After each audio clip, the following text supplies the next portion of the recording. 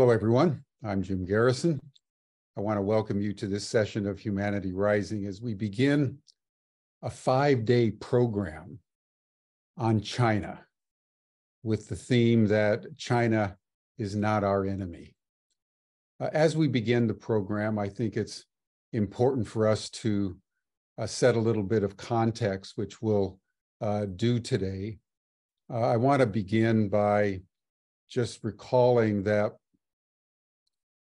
the United States now is escalating conflict with two superpowers simultaneously.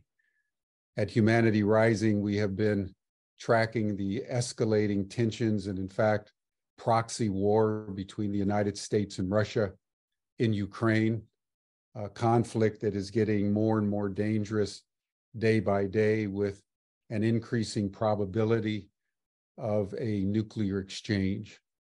Uh, the world has not been at this level of danger of a nuclear war uh, since the Cuban Missile Crisis in October of 1962. And that is something that all of us uh, need to take in as we contemplate how we live our lives, what issues we should be uh, addressing. Uh, we need to uh, bear in mind that the conflict between these two superpowers uh, is escalating uh, in increasingly uh, dangerous ways. At the same time, uh, the United States is escalating uh, conflict with China with increasingly specific rhetoric articulated by several of the people in the US military about the increasing probability of war against China uh, one general predicting war by no later than 2025 uh, over Taiwan. So we find ourselves in a situation of an extraordinary um, contradiction. All of us are aware that we should be dealing with escalating climate turbulence as global warming and the ecological chaos that ensues is getting more and more accelerated, more and more severe uh, everywhere around the world. At no time in human history has it been more urgently necessary for not only the superpowers, but every nation on earth to come together in enhanced cooperation uh, to deal with uh, escalating climate disaster, which is affecting all of us. But that's not what's happening.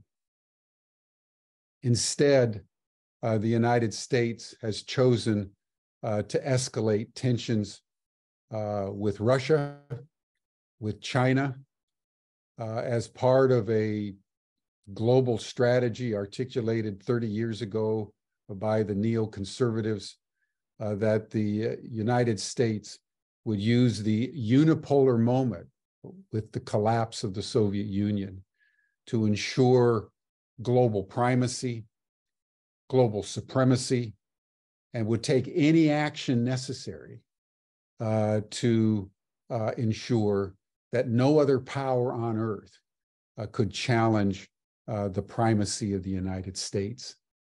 And that is what is now being played out uh, in the escalating tensions uh, with Russia and China.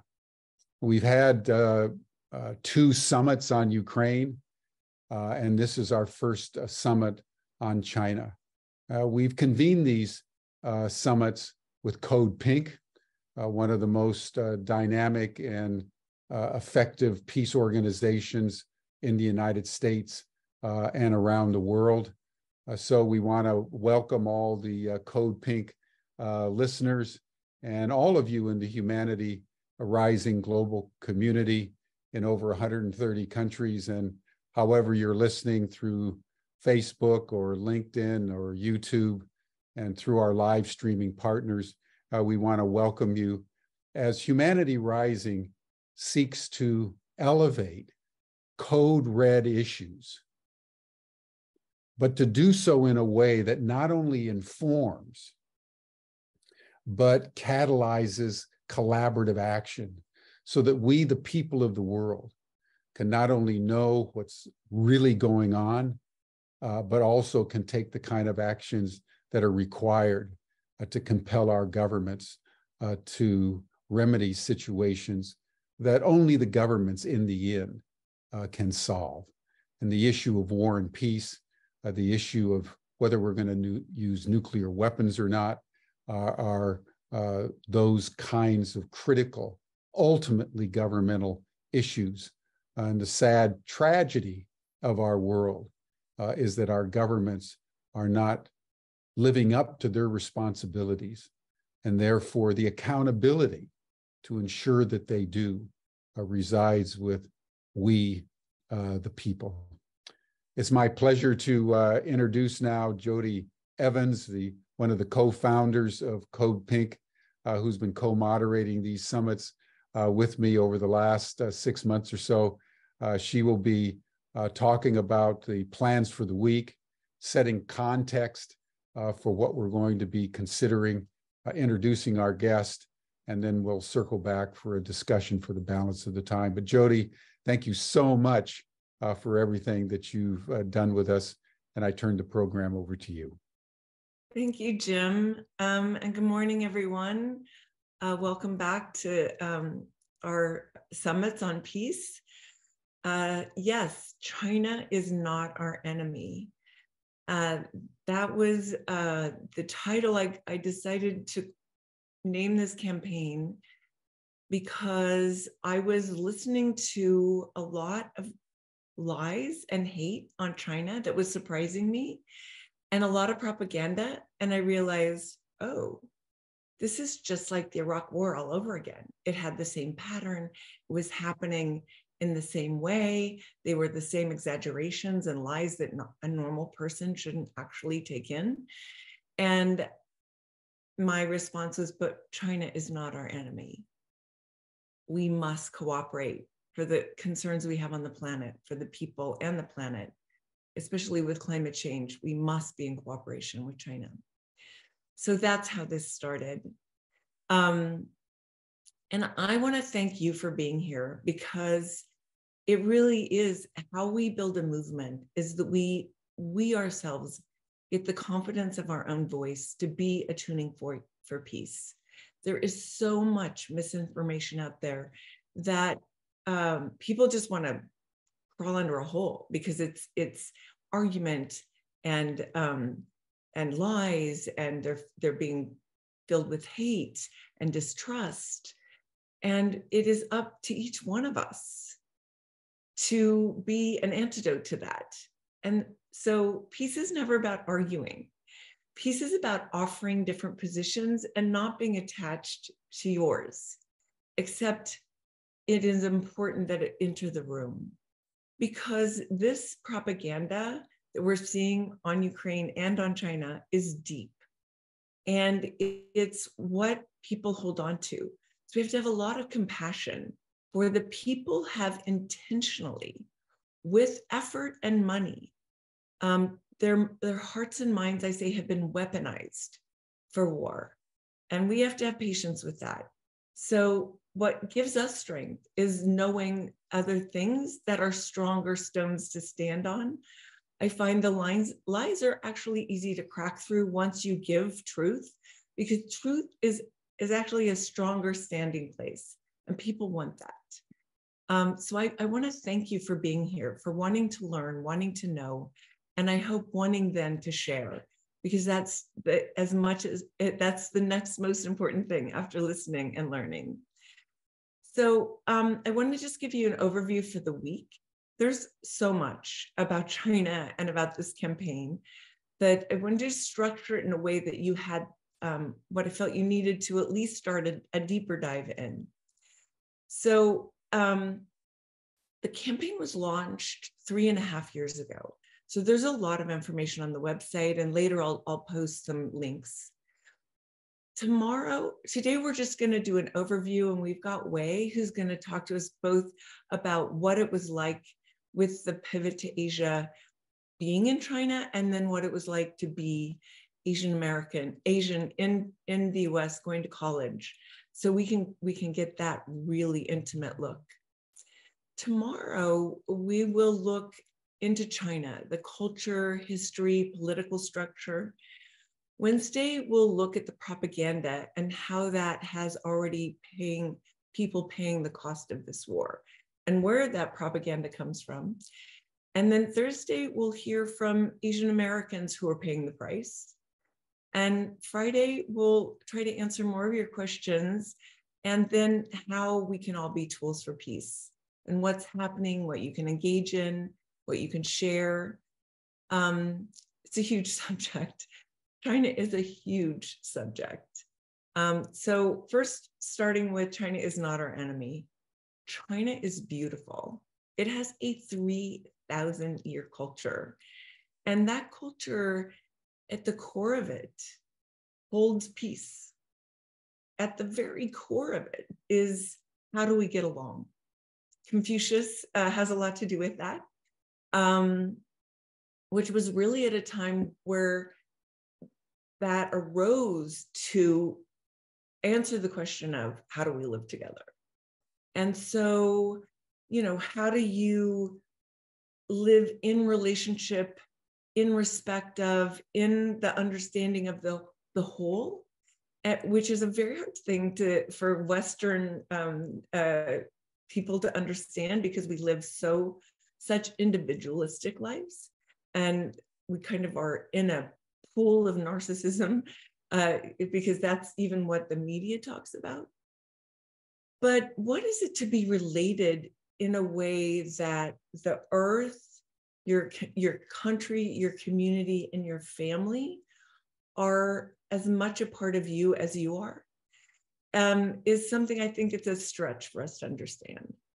But that's been there. And also, there's been this uh, commitment uh, that those who uh, rule a country are responsible to the people. So that's also very old and, and expected. So, eh, you know, like the under heaven, it needs to feel like you're under heaven. Um, or the, the leaders aren't doing their job. I also want to say I was just in Dali and I'm going to flow through this with having just spent a, a month in China. And one of the things I learned was that 1200 years ago, in this place where there was leaders of this whole area of China, it's vast, um, at some point, the the ruler would leave his his post of as a ruler and move into the temple and become a monk.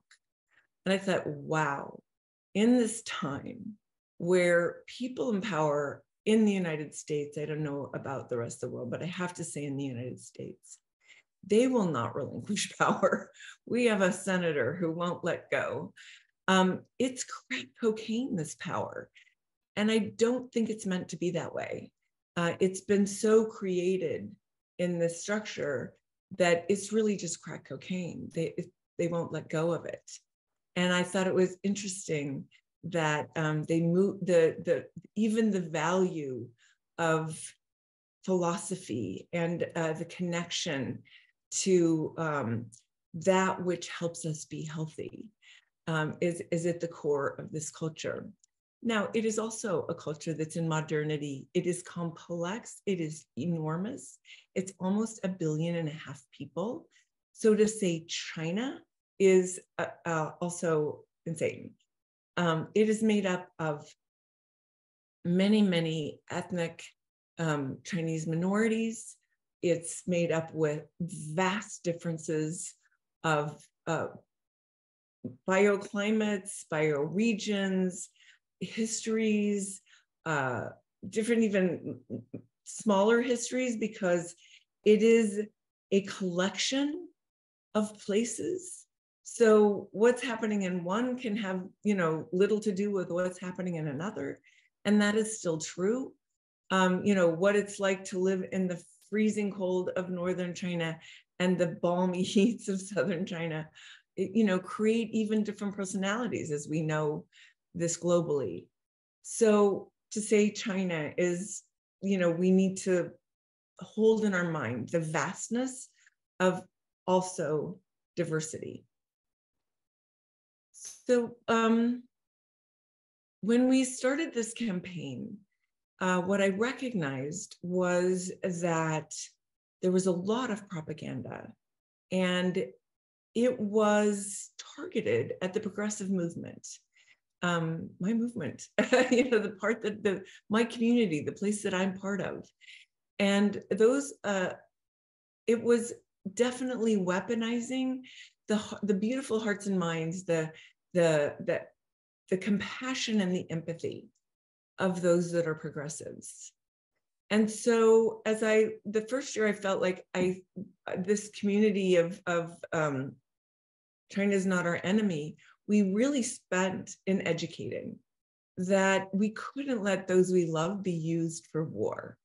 And the State Department, the Pentagon had thrown out what I call a lot of weeds to, to, to grab people. And then if you started doing the weeds, and talk about how that wasn't true, you got kind of grabbed in a in a an argument, which I didn't feel was useful. And then it was like, let's just move up to China is not our enemy and stay out of the weeds. That is enough. So we did about a year of work of pulling the progressives off from being used for war and that took a lot of education, a lot of one on one education. They literally wanted Ilhan Omar to be the poster child for this going to war with China. So, reminding people that there is no greater violation of human rights than war. There is no greater violation to the planet than war. There, you know, like all these places that you're being dragged into the weeds. War, we're forgetting the costs of war. We have forgotten the costs of war. We, we get a lot of manipulation, we get a lot of hate. But when do we actually have to sit for a day and really be with what the costs of war are? And I know, you know, Jim and I talk to a lot of people in Ukraine. We are not getting this in our media. We're getting driven to war. We're getting manipulated to war. But the costs of war, I think, would help us change that the capacity that we have to be dragged in and be used by. So this campaign is about there is a beautiful place. It is complicated as we are. It has as many complications as the United States. But who are we to tell it who to be? What we should be is saying we all have to get along on this planet that is fragile. We need to be cooperating on climate change. We need to be cooperating on poverty. We need to be cooperating on how we live together instead of creating more wars and more devastation and more death and more people homeless, but with the refugees and those at home, because we're taking United States taxpayer money to fund this. And I want to go back to that funding piece. The beginning, when Bush and, and family, Bush and friends were pushing for this war on Iraq that I, you know, that kind of brings me into this story. They told us that it was going to cost no more than $200 billion. That was what Rumsfeld was saying to members of Congress. The 20 years of the war on terror cost $22 trillion of tax taxpayer money. $22 trillion. Not only does it create a culture of weaponization and war and hate and other, you know, creating an enemy, but it has robbed that $22 trillion from the needs of the people of the United States and literally undermined the infrastructure so I want to talk about like what China did in that same 20 years. It didn't invest any very little in its military. It, its budget for the military did not raise. And it spent its money building the infrastructure for its people and for the planet. It built infrastructure that would take down their uh, contribution to climate change. Uh, China, I think, is the only country, I think maybe there's three others that have come to where they agreed in, in Paris. So they took that money and instead decided to serve the people and the planet. And in the same period of time, they took 800 million people out of poverty. So, you know, let's let's look at that also. And then we have the United States under Obama pivoting to Asia. And, you know, that pivot um, had many reasons, but mostly that the United States could see that China was growing as an economic power. It had failed in the Middle East. It had basically destroyed a lot of the Middle East. And with that, Northern Africa, it didn't want to talk about it anymore. It didn't want to be engaged anymore. It just like, let's just move to fresh territory. And so it started, you know, upping the military. Um, and, and I just want to say the pivot to Asia is not just about China. Um, and and we sh- we should remember that. And and with Ukraine, we we we talked about in the summit, we've watched BRICS rise, but um, it was a pivot to China, India, and Indonesia, which represent close to four billion people on the planet. And so it, it's a market, it's a power, it's a the power of you know them all coming into their strength as as countries, um, really spending time strength. To comment on leadership, it's to comment on the country itself. The country, the people have moved into modernity um, and have moved into ways to make their citizens happier. And that's true for China, India, and Indonesia. That doesn't mean all the people are happier, but it it it's where we are in the United States, there's a lot of unhappiness. You have to look at there's 4 billion people that are happier than people in the United States, pretty much. So just kind of understand what was what's happening. It was a lot about the economy and a lot about having military control over a place that the Obama and th- those in power didn't feel like they had enough control. And for much of that time, they deployed the State Department and many people into engaging themselves in summits, in meeting with the governments, in creating partnerships. And, but it, I, I want to say it's where the rules based order kind of uh, started seeping up. You have to be part of our rules based order, as we've seen Biden kind of embrace fully. But the United States has 250 or more bases surrounding China. And um, that costs a lot to the people there, near those bases, in those bases, the planet that it destroys, the pristine ecosystems it destroys. And I want to say, Code Pink, we've we've been engaged at, at, at trying to stop some of them, including the one in Jeju Island in, in South Korea, because it was one of the most beautiful, pristine ecosystems you've ever seen. And they decided to destroy it with a military base. So this pivot to Asia is pretty ugly um, in its expression. Um, so, you know, we've seen with the Ukraine war also that NATO, that belongs, you know, in, in Europe, is also pivoting to Asia. And we've got NATO moving to around China. Um, so uh, that which has nothing to do with peace and should have nothing to do with Asia. Also, I want to just say there, China does have one other base. It's in Djibouti, um, but that was because the United States asked them to participate in anti-piracy operations and to build that base.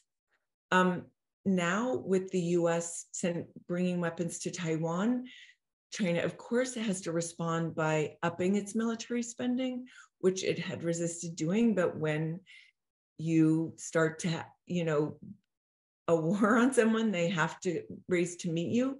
So this is part of the problem we don't want to have happen because now with um, uh, US wanting to spend another couple of trillion dollars on new nuclear weapons, what can China do but meet that?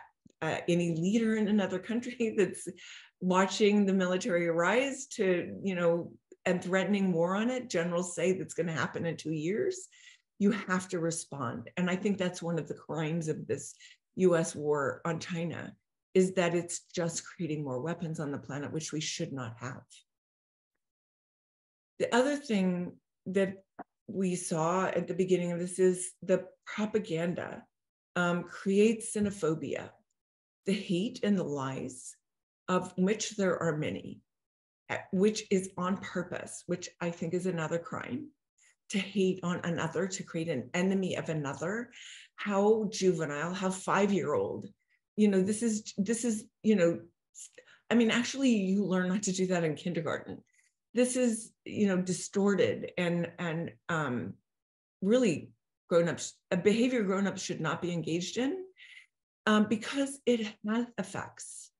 And we saw very early on the, the effects of this with a rise of like 3000% in xenophobia and violence against asians. And i want to say asians because in the united states most people first of all know nothing about asia but also know don't know what country you're from when you're Asian. And so that meant that everyone that was Asian is pulled under the umbrella and are vulnerable to the attacks, to the xenophobic hate attacks.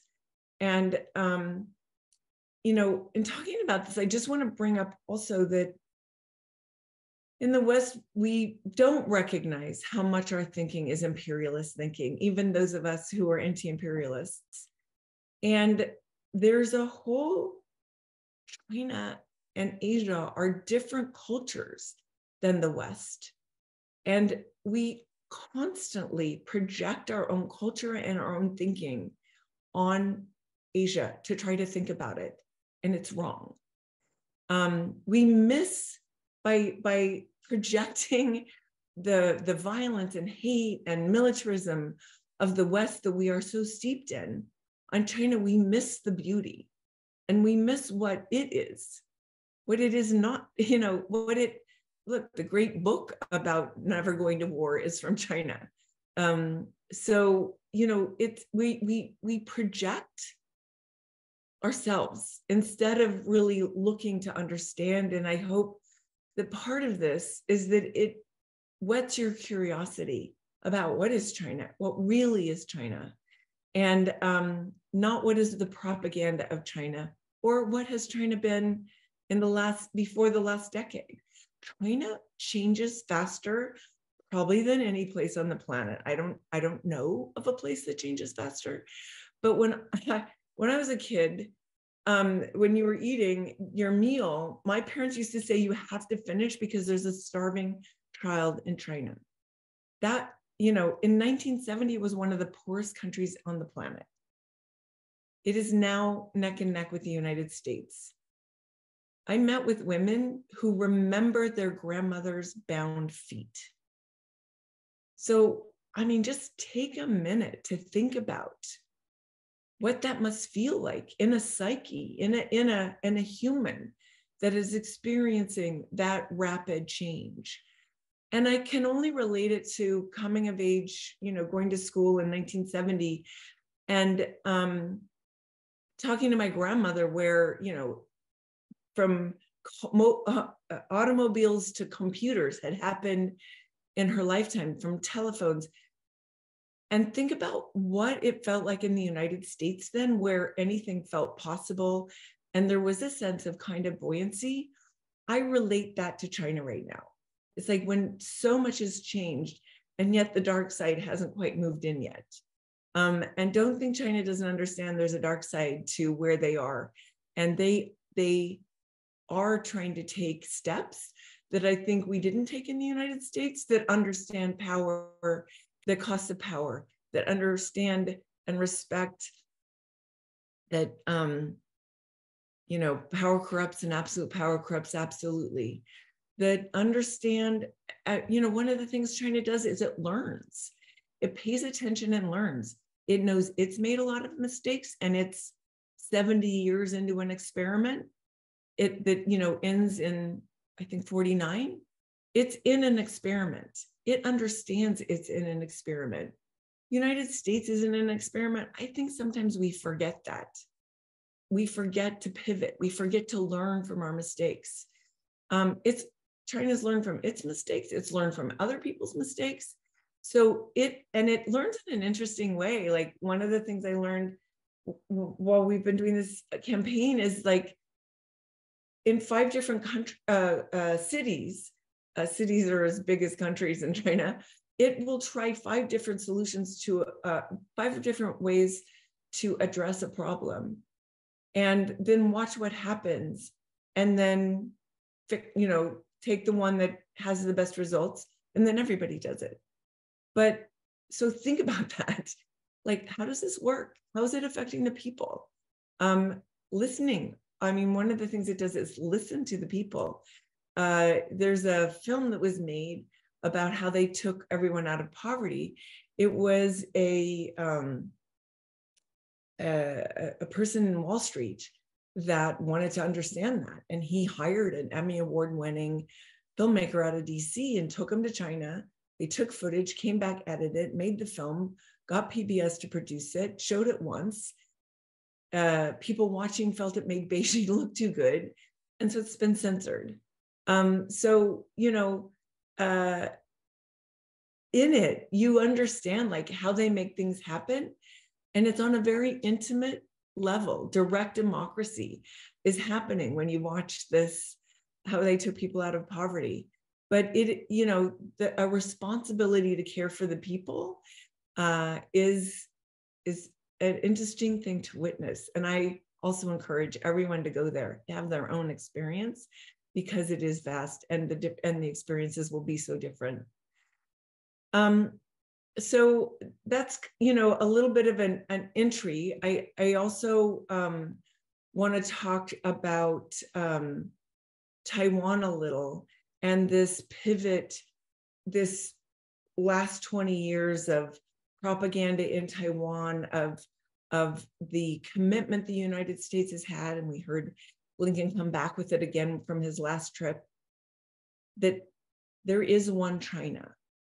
And that when the United States starts um, in, invading the idea of one China and trying to change it, it doesn't work out well for the people. Didn't work out for the, well for the people in Tibet when the CIA armed Tibet taught them to go to war and tried to get them to be the front line of war in China. It doesn't work out in Xinjiang when the United States goes to the, king of Saudi Arabia and asks him to radicalize the Muslims. It doesn't work out well for Taiwan already, and they have back channeled to the leadership of the US to say, shut up, stop lying about China invading Taiwan every person in China knows that China is not going to bomb itself. But you can get, you know, you can get the Americans to believe anything. So the Taiwanese say you can't do that anymore because now that's got major contracts being canceled. It is affecting its economics. So let's just look at, you know, what happens when a country is used as a tool for war on another country. Ukraine. Taiwan is watching that and does not want to be Ukraine. So, you know, we'll we'll hear more about Taiwan from a professor uh, later in the week. But um, it's also one of the weeds. But it's also a place that we need to understand as people in the United States. Even though Biden says yes, we believe in a one China policy, and Blinken comes back and says we will have nothing to do with Taiwan independence they are still all, you know those are words the behaviors matter and the behaviors are already hurting people including the hate that they're driving so um, i've given you a little you know ground to walk on. Um, and there's what i'd really like to do is now bring in wei. Wei yu has been code pink's china's not our enemy campaign coordinator and a lot of the things that you see on her site um, she's created. She was born in Tianjin, China, um, a port near Beijing, and has lived in the United States since her high school years. Uh, when she was at university, she, she was after a degree in sociology and international studies and conducted an independent research project on neocolonial bias in the global north academia. She's worked with uh, several nonprofit organizations serving women, racial minorities, and other progressive causes. She's passionate about anti imperialism and peace building work, and um, also is a vegan chef in her free time. So, Wei, if you can um, bring this, bring us into your story. Thank you so much, Jodie. Um, hi everyone. Good morning. Uh, if you're in the Western Hemisphere, uh, so like Jodie mentioned, um, I was actually born in China, um, and since today we're talking about the ten years of pivot to war, um, on China. Um, let's just go back in time a little bit and um, to the beginning of Obama administration's pivot to Asia. Um, so I was actually living in China at the time. I was 12 years old. Um, uh, and uh, the and it was also I remember it was like the summer holiday right between my sixth grade and the and seventh grade when I was supposed to start um, uh, junior high school, and um, that was the summer when I first got um, politicized. Essentially, um, that was one eventful summer that really opened up my eyes on a lot of international issues, um, mainly because there was this um, the what, what was on everyone's mind at the time was this um, ter- ter- territorial dispute between China and Japan um, with uh, East China Sea and some islands. Um, and this is like a very like uh, this is kind of like a weed like Jodie mentioned, and there's like a lot of historic um issues and between the relations of uh, uh, uh, there's a lot of uh, historical issues in the relations between China and Japan and I'm just not going to get into that. But I also remember that because there's so much history between the two countries there from um, the Japanese occupation of China in the 20th century or the Japanese occupation of like much of East Asia in 20th century and also the Sino-Japan War um, back in the 1800s um, there's like just a lot going on between the countries. But then I remember seeing in the news and I was uh, questioning why does the United States have something to say about this? Why is the United States being a provocateur in the situation and just escalating tension? Why is the United States sending warships all the way across the Pacific Ocean to have these military exercises with Japan?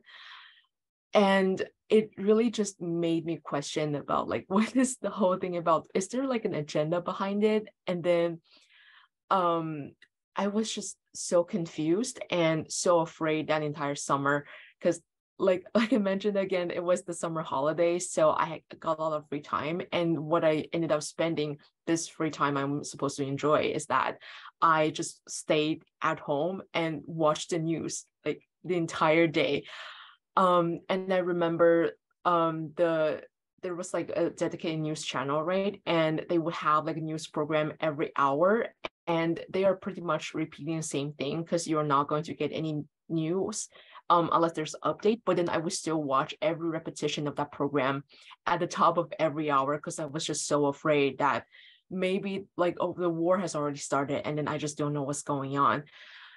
And it was just again just like a very fearful very confusing summer and just questioning myself like why is the united states involved and what its its agenda to create fear and panic um among people and among like little kids like me um and then a couple of years later um i moved to the states and then a lot of like struggle with racism also, as well as xenophobia but then um, like Jodie mentioned, in a couple of days, we're going to talk about like U.S. foreign policy and also how it affects Asian Americans.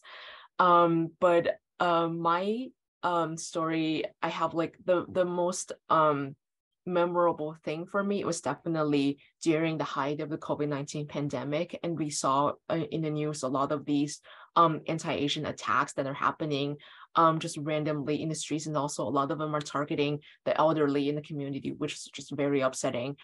Um, and I was also just very fearful about um, just going outside and that I might be the target of the next racist attack. Um, so I remember during that time because I was so afraid. And then I was just trying to think of anything, anything that would keep myself safe. And what I did was that because um, I was in college, so every time I went outside, I would make sure to put on like a t-shirt or a sweatshirt with my college's name on it. So it goes like Jacksonville or like Go JU, just like so trying to like really Americanize myself and just dim down like my um identity so that people would just hopefully ignore me and so that I could stay safe. And looking back, that's just like such silly thinking. But at the time, I really thought that that's what's going to keep me safe from all of these racist attacks.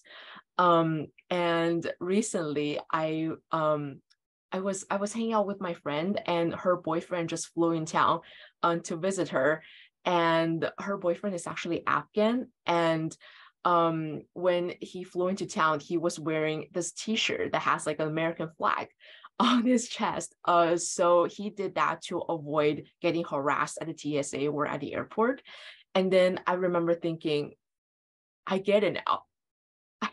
I, am I'm East Asian, and then this is like a Middle Eastern uh man, but like I get that feeling now. And going back to what Jodie said, um, we saw we are seeing this propaganda and also this preparing for war to China, not unlike what we saw um in Iraq 20 years ago.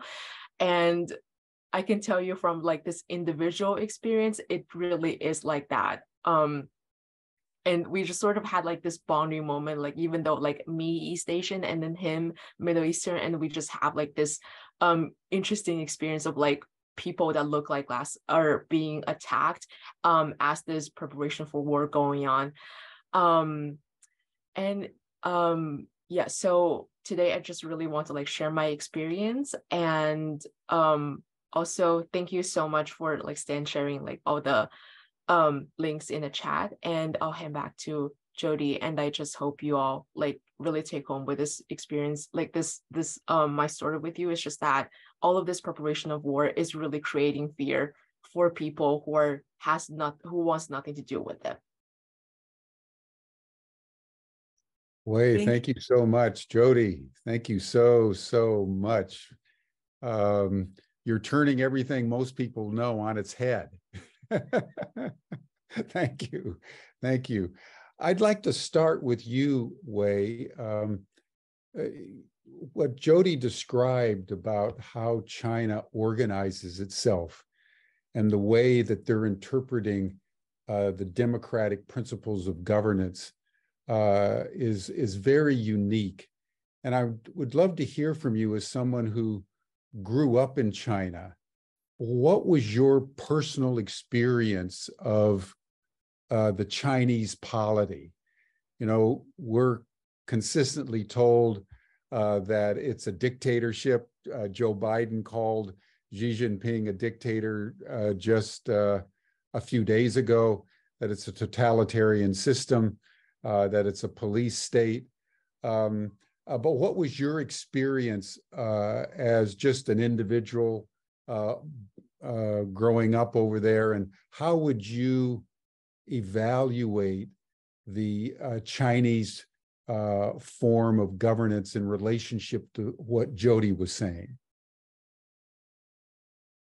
Yeah. Um, um so while i was um in china i was again just like a child and just like really growing up but then my experience was really just that this um democratic process um, and the sanctity associated with it is just like so deeply instilled in my mind.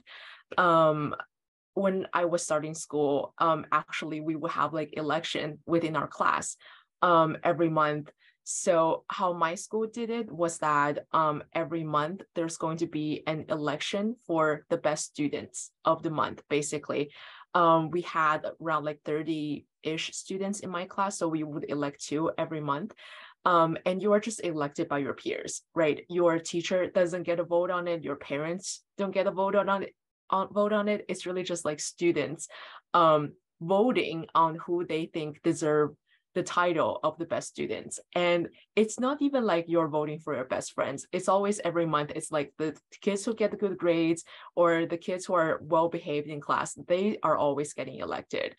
Um, and I remember there was one time, I think I was around like third grade, maybe. Um, it's so interesting because um, on that day we we're supposed to have like an art class um, and I so happened um i brought some like extra art supplies that day and then i was like sharing it with my classmates um because i was just you know being nice and like being nice to other kids um and then our teacher walked into the classroom and seeing me passing out stuff and that was also like an election day when we were supposed to vote for best student. Our teacher was like that's bribing that's not okay and then I just got so scared. I was like, oh no, I did something so terrible. So really this like this like democratic value, this like process, um, like you learn about it at a very young age. You get to participate in it as soon as you start school at six years old. And there's some sort of like sanctity associated with it. Like you just you it just it just can't be tainted. You can't you obviously you can't bribe people and then you can't do any like thing that will make you suspicious of bribing.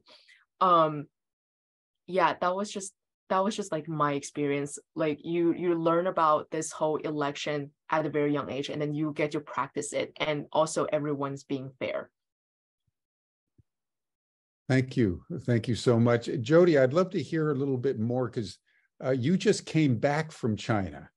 Uh, tell us a little bit about your trip over there and in particular what you were learning about how the Chinese society uh, at every level uh, self organizes itself around various issues and concerns, because I think that is uh, a, a sort of a foreign concept uh, to the way we understand democracy in the United States, which is an election every two or four years. Um, we don't have a sense of democracy at a family level or at a community level. Um, and the Chinese um, uh, have developed that over the eons of time. And uh, I think our audience would be very interested in, in a deeper dive into your understanding of how they self organize. Well, so I also just want to comment on wasting, you know, what Wei was talking about voting. I don't think Americans understand that in the last election in China, 800 million people voted, which is a larger percentage than people who vote in US elections. So, you know, in the sense of like the value of elections, um, also that value, and that the political system is like the US system, it's you elect to select. So at the very end, the leadership is selected in this, I think with more people actually in the process, what we have 535 that select the president of the United States. I think it's a bigger number in China. I think it's 2000 and something. Um, so it's the same elect to select process that we have in the United States. Um, so just want to like when we, if to understand that.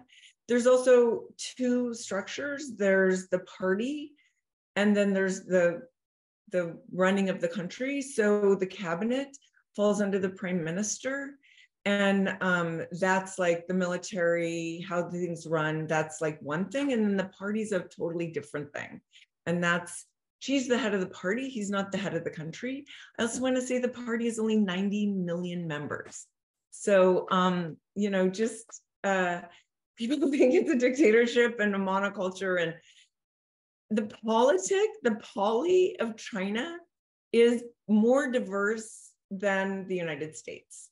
So just to say that, you know, that it's got all kinds of things in its threads, you know. And so at the very core of how the country run or is run is the same way it's been for 2500 years and that is locally and so you know like i talked about the diversity um, I, I, can ex- I, my experience of this was my husband who lives in Beijing, Shanghai, and Sanya, and his experience of COVID, the time of COVID. It depended on where you lived as your experience. The other thing is people talk about the China shutdown.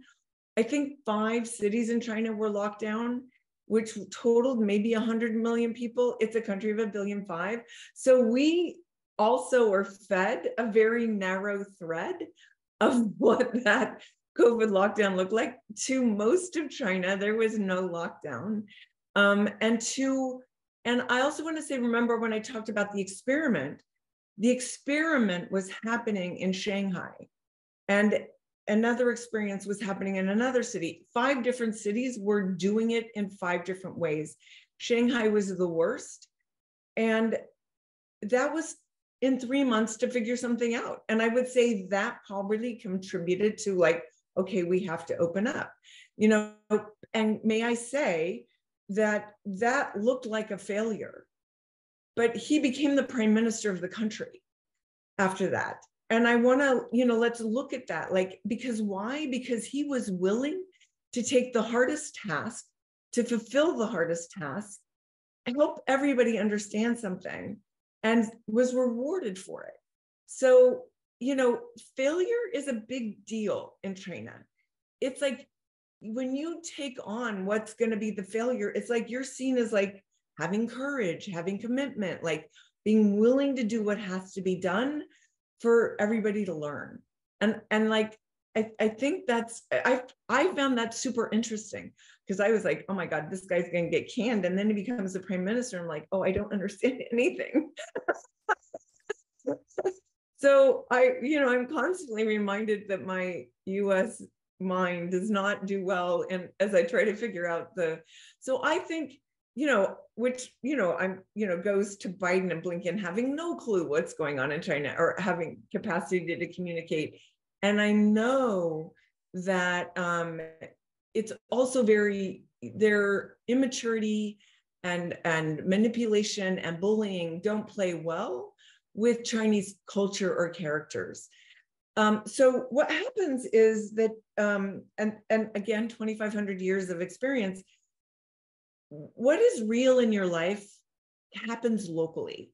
So people are more connected to what's happening locally. They're part of that you're part of your community. You have a responsibility to it. Somebody's like a community leader but you listen to them. That's where because they're all going to do it differently depending on the neighborhood you live in what's needed who's old who's young what the pushback's going to be. Um, because chinese people there's a lot of pushback. There's a lot of like i don't like that. I don't want that. So um, it happens locally and it happens in community and you're engaged. You go to meetings and, and once a week you're you know where the poly happens is locally. And we see that with the um the taking the you know people out of poverty. It happened first person to person and then it was about the community. And then what they delivered was infrastructure not money. You know money was the last thing I don't know, Wei, if you um, wanted, it seemed like in the chat somebody wanted to see the film. If you could um, uh, share that.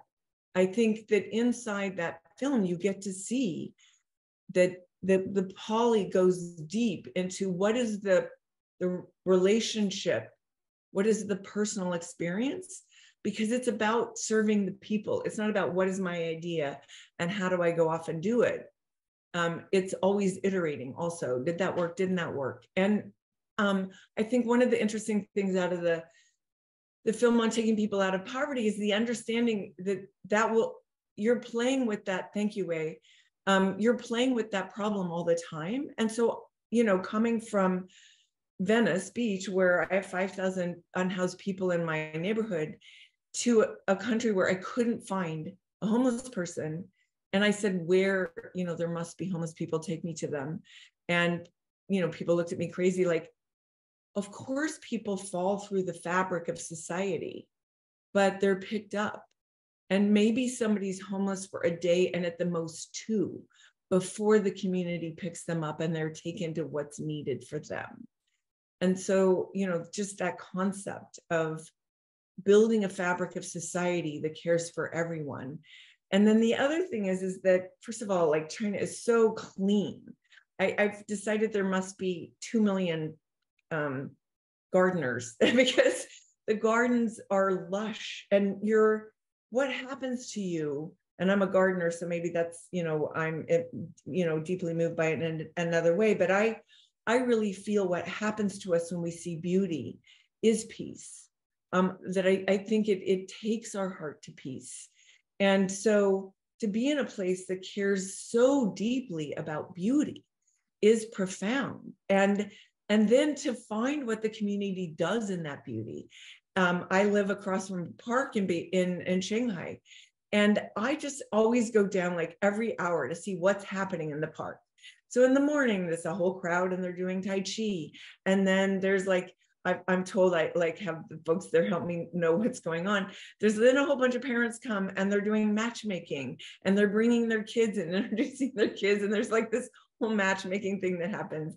And then there's always equipment in the park where people can exercise and you see all these, you know, retired people working on the machines, knowing that they need to keep in shape. Keeping in shape and eating is a big thing, you know, like she's like all about like how do you eat you know because when you become modernized and and wealthier bad eating habits take form so they try to work on exercise and eating. And then there's my favorite is the the old guys with their little tiny bird cages and their little tiny birds and they come and buy trade bird cages and birds and it's just like so beautiful and they're so adorable. Um and so just like oh and then the game playing and you know, and the women who just like have these crowds around them because they know how to play the game better and everybody's watching. I can't follow it, but um, it's just community happening. And I, you know, that's steeped from the relationships you have, from where you live, that you know your neighbors, that um, my friend Tings um, talked about how much they loved the lockdown because out of that, the neighbors got to know each other better. Everybody wasn't off running off to work. And they created uh, things that still exist about how they order their food to the building at, at a discount price and then they all share it and they've like got into that ordering thing that's continued so as we know you know uh, through covid that we learned what is essential and some of those patterns have continued some of those things have continued out of the lockdown with those in china um, so I hope that answered your question, Jim. Oh, beautiful, beautiful, beautiful. Wei, would you add anything to what uh, Jodie said?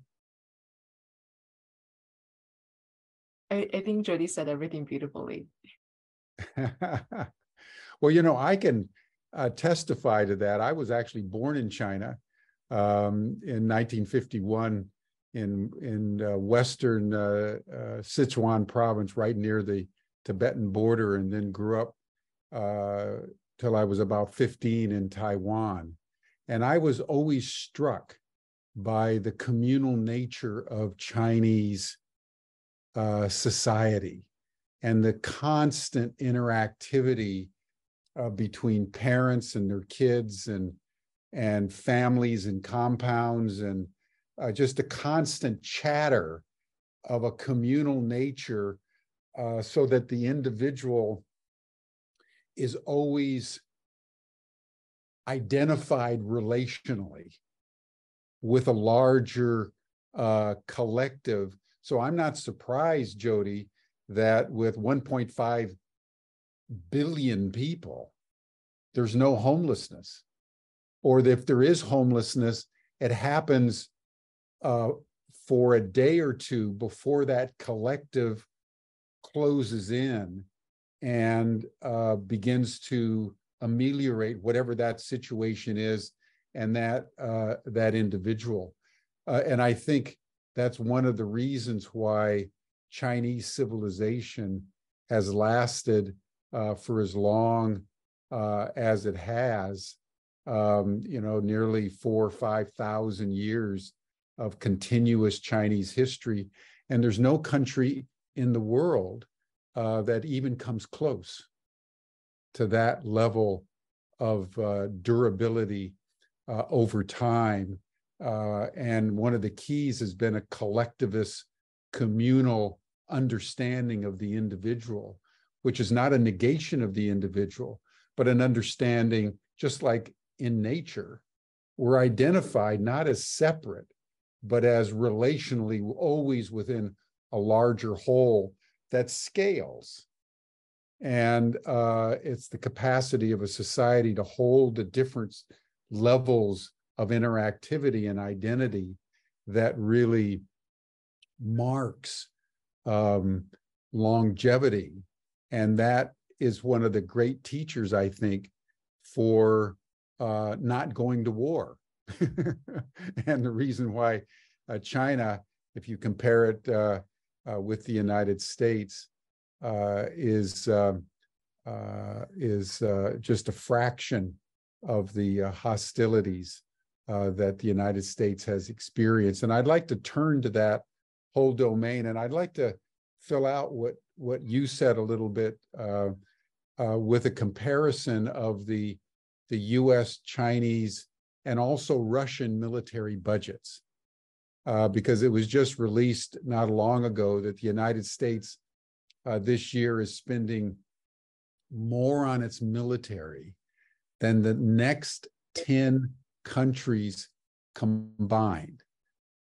The United States runs at about $800 billion officially, but there's another couple 200 250 billion that's in what they call the dark budget so you have a, a generally understood as a military budget by the united states of around a trillion dollars china is second and the official chinese budget was under 300 million so the united states is spending three times the chinese it's very important for but people the chinese to, have five times the population with five times the population. Yeah, yeah, yeah, yeah.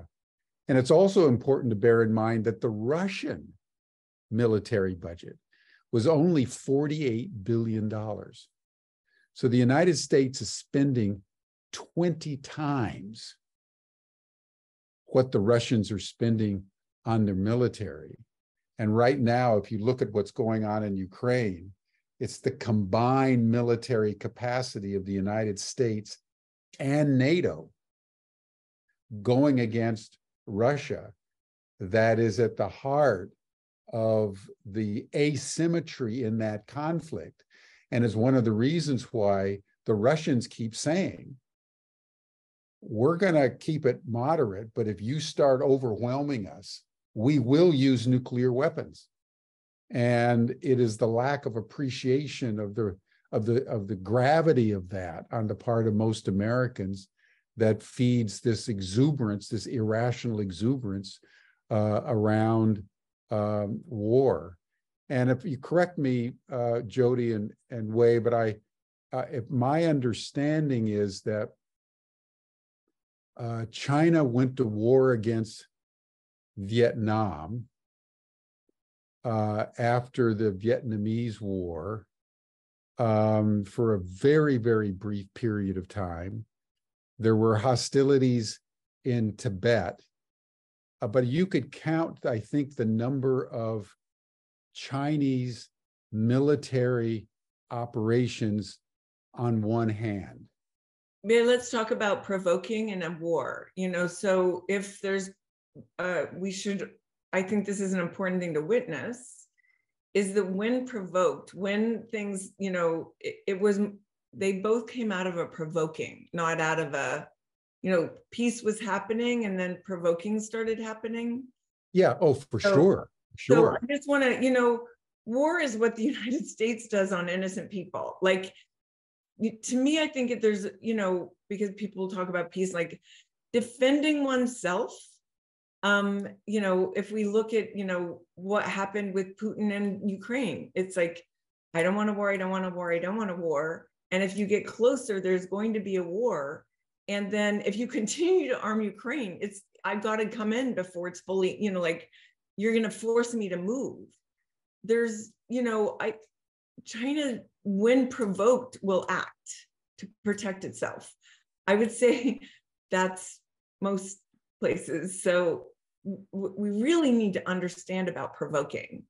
Um, and yeah, yeah, yeah, yeah, yeah, for sure. Horrific, Ukraine is, and it was that it was. This did not have to happen, and and that's the importance of this campaign. That I really want to say is that provoking you know, will cause, I mean, China has been through hell. You know, it's uh it's it's years of, you know, indignity forced on it by Europe and the United States and Japan. Um, and just I saw also not the valuing. I mean, just also never being valued um, or recognized uh, for what you know.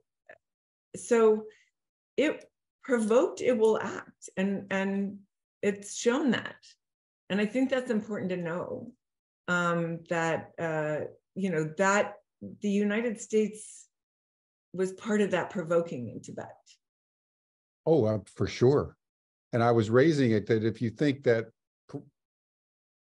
provoked or not, if you think of the Chinese using military maybe less than five times uh, in the last uh, 50 years, I think the latest estimate is that the United States has used military action one way or another over 250 times in the last 30 years alone.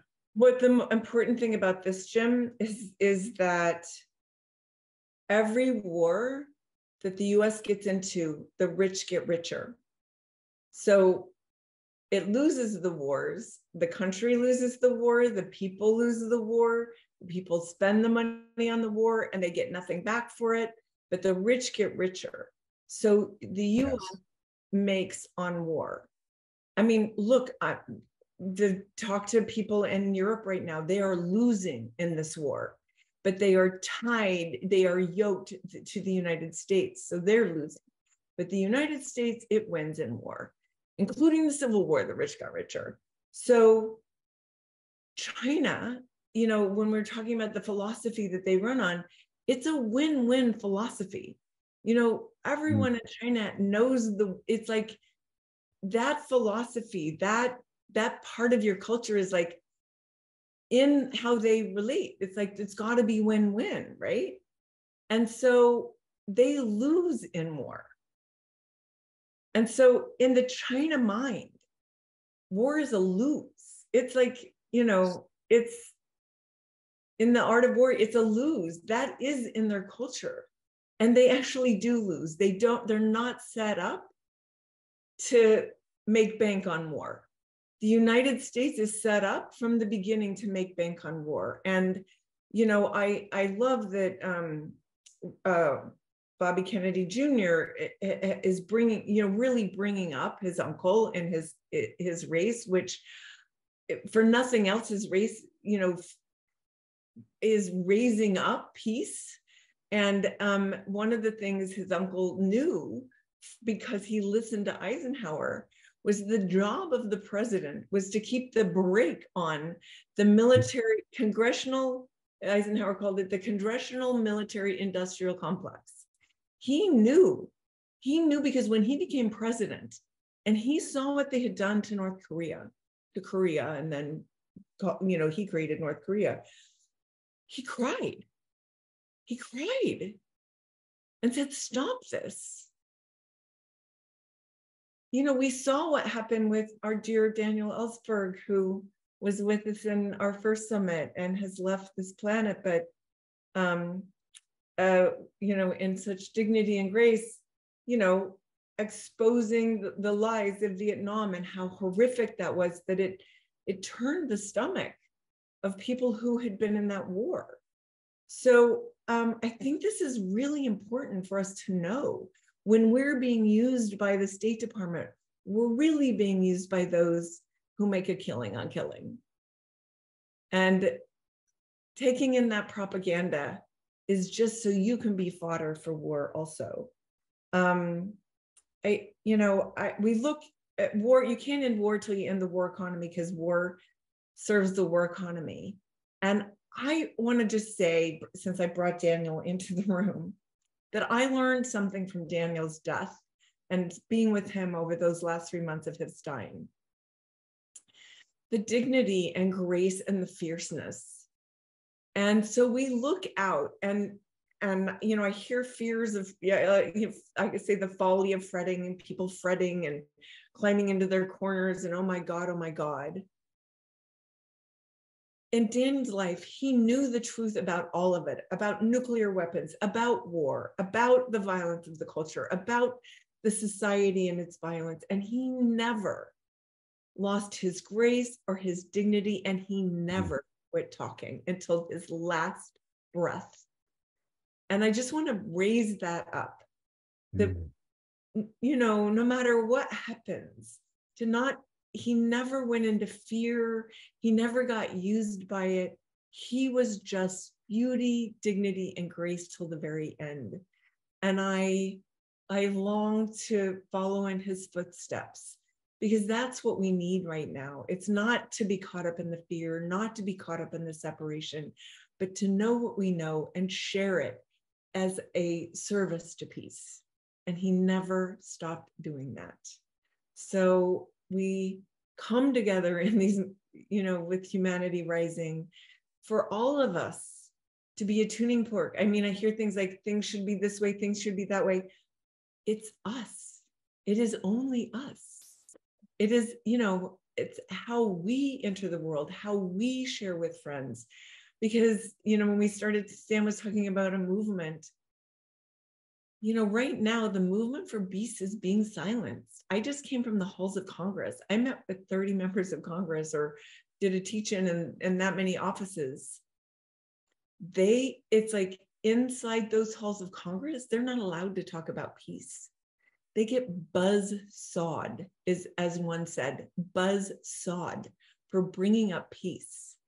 And inside of each office is an embedded member of the military that's called um, military fellow in these offices that is at every meeting talking about how many more weapons we're going to buy and how much more what more we're going to be engaged in and there i had one member of congress staff say to me as I was telling them what I, you know, saw in China, she was like, well, we know better than you because we get briefed by the State Department. And I was just like, Whoa. I came back. I'm sharing stories from the ground, but you are listening to the State Department who's taken us to wars, who's driven this hate, who are irresponsible. And I mean, like, just so you know, it is really up to us that you've got to be able to look at this. They're lost. I mean, Jim's very kind and and saying, you know, they're insane. This is insane. And we have to recognize that. And I think one of the lessons I take from China is they recognize things early. And we know as human beings that when we recognize the problem early, we have a much better chance of having a soft landing than when we avoid, ignore, deny, and then get crushed by it. So if we recognize that China is not our enemy, that this is a war we could stop, it's really about each one of us changing the hearts and minds of those we know. Because China is not our enemy. It's wrong to make enemies. China knows better than to make enemies. It's, you know, when have we, how are we going to, in this democracy that is broken, you can't have democracy when there's this much inequality and there's no real journalism. Can have democracy, but we're about to enter our um, being swept away by that game. It is a game that is, you know, definitely managed by those that are in power.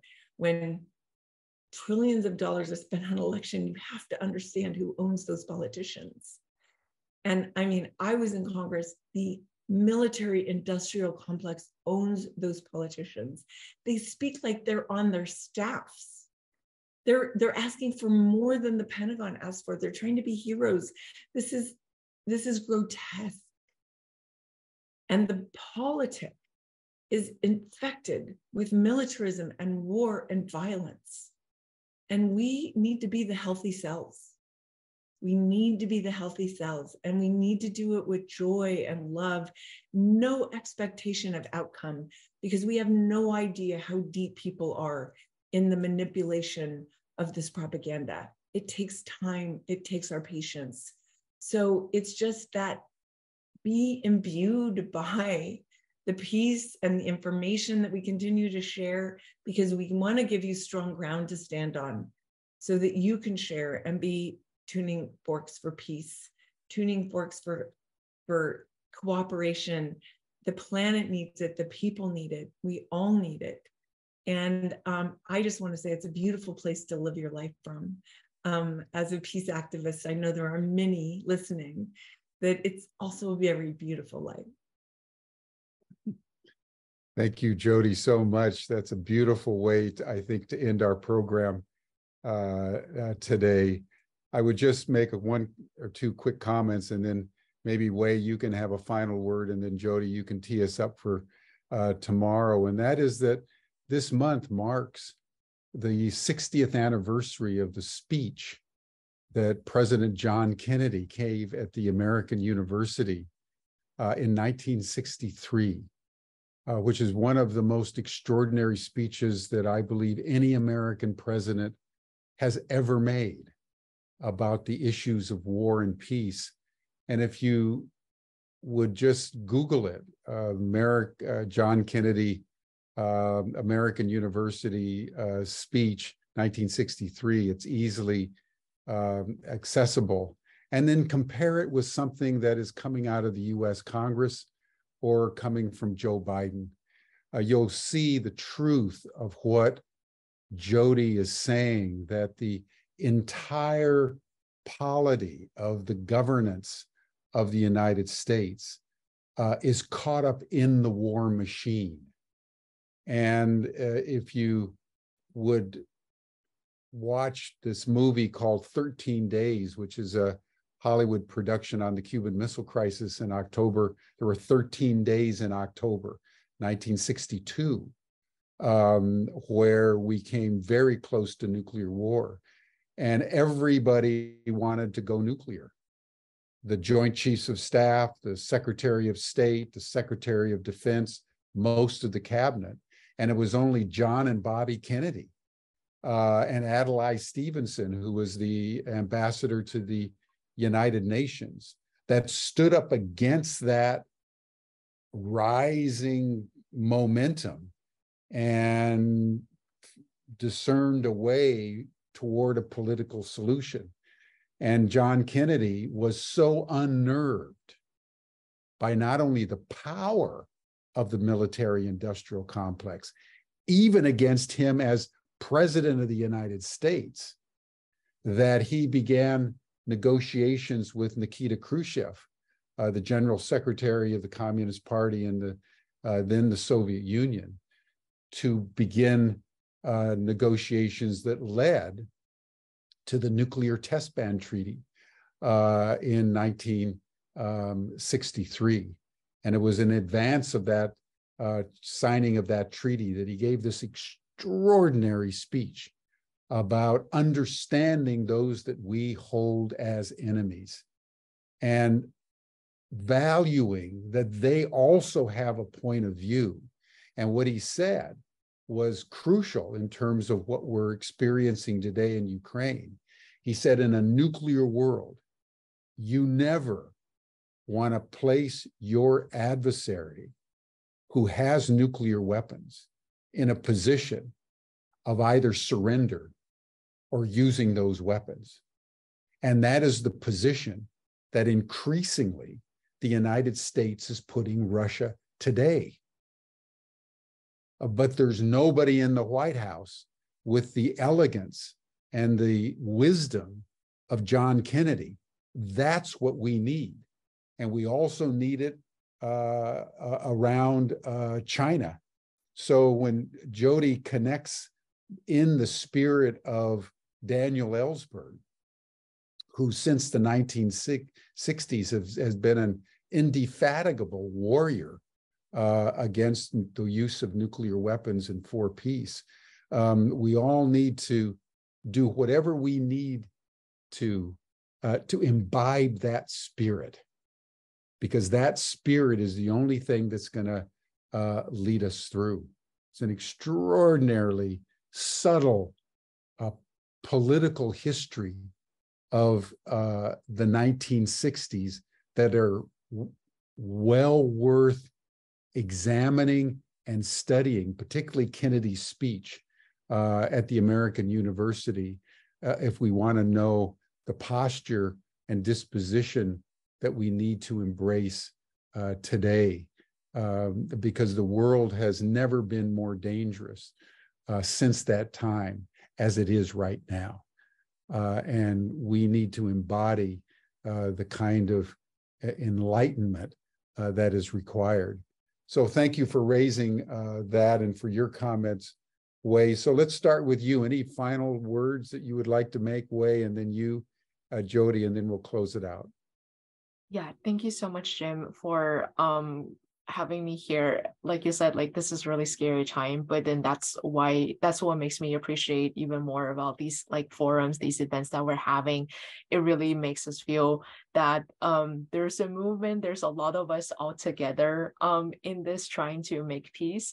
Um and um what jodie said like a bit earlier really stuck with me is that um they see this as a game right? Um um, in April, the House Select Committee on China, they actually had this war game um, about like they basically planned out how a conflict with China over Taiwan would look like, and it, they literally saw everything as pieces on the chessboard. Um, and that just like takes away the humanity um, of, of people like of China, of people in the U.S., just everyone, and then um, it's very important that here we're having like these conversations and all of you here hearing my story that making us realize that oh we're just all people and we're just all humans and all connected. Um, and yeah thank you so much. Thank you wei. Jodie final word. Thank you wei. Yeah i think wei said it you know that all this talk i call the weeds takes us away from our humanity. We know better. We know it's like we then we give away our own common sense, our own heart feelings to all this information that we don't understand and we think is true because we think the state, you know, we think people have our best interests at heart. And I think it's just like coming back to who are we as humans? And that's what this campaign is about let's be relational to each other. Um, mm-hmm. and so in China not being our enemy, what what is like why not have the curiosity to what is China instead of what are you being fed as China? And tomorrow we're going to get more of that. Um, so with KJ and Mika, uh, so I, I look forward to seeing you tomorrow. There's many more layers of this story um, before we finish the week off. So thank you for joining us. Peace. Thank you, Jodie. Thank you, Wei. Uh, thank you all. Uh, that brings our session to a close for today. Uh, as a reminder, it's just the first day of a five-day program here on Humanity Rising in partnership with Code Pink. You're all welcome to the after session chat, and we'll see uh, everyone tomorrow for day two, same time, same station. Thanks, everyone. Bye for now.